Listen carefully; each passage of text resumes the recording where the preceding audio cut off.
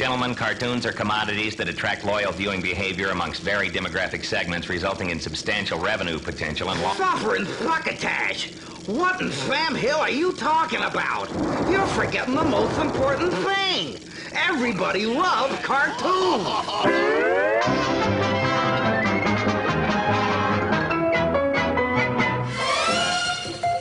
Meet George Jetson. Cat. The most effectual Top Cat. Flintstones, meet the Flintstones. They're the Montessori family.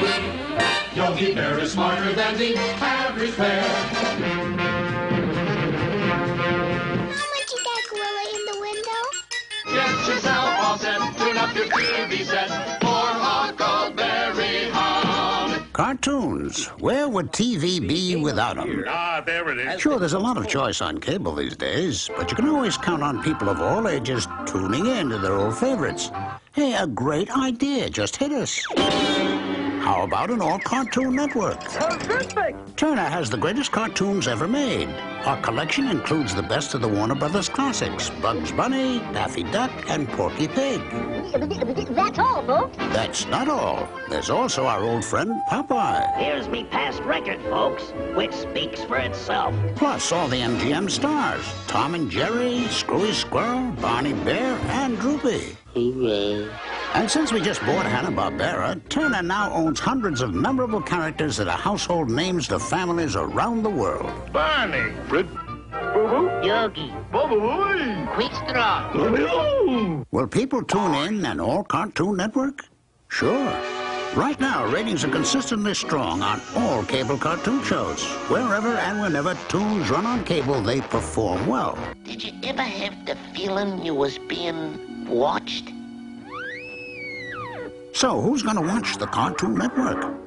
Well, the current baby boom means more kids are watching cable than ever before. But right now, they have only one choice Nickelodeon. Even with its new cartoon block, Nick only makes it to 26% on the cartoon meter. But the Cartoon Network goes all the way with 100% cartoons. And here's another piece of research that may surprise you.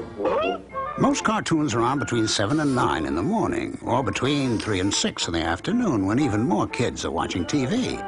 But it turns out that the highest part levels, people using televisions for kids 2 to 11, is here, between 8 and 10 at night.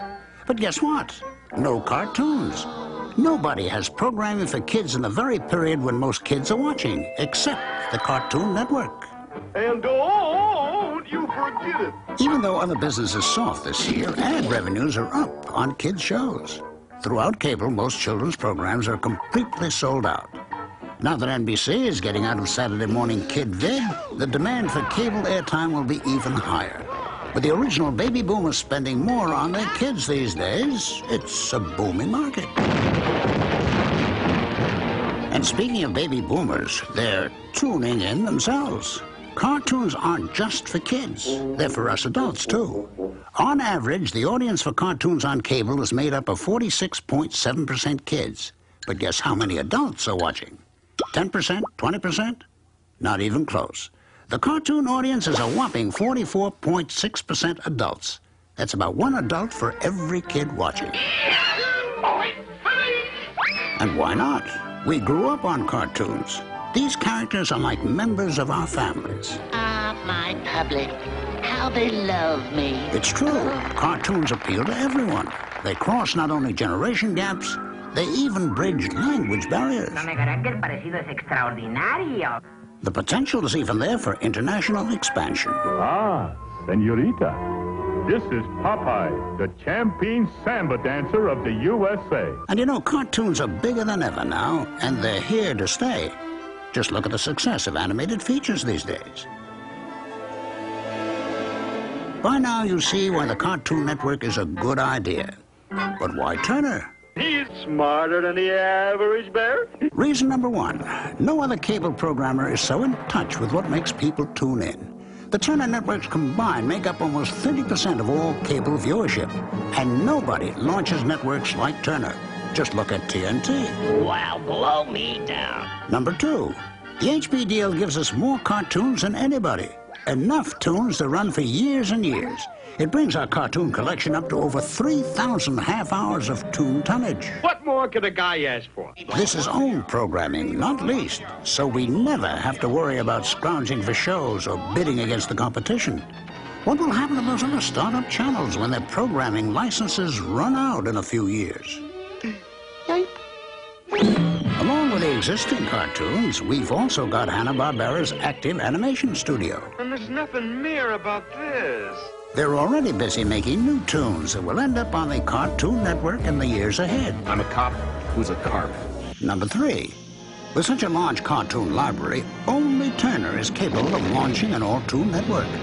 So no matter who else shows cartoons, Turner will become the undeniable cartoon source for children of yesterday, today, and tomorrow. The Cartoon Network is also good news for cable systems. It will help your basic retention because toons give your subs one more reason to feel good about having cable.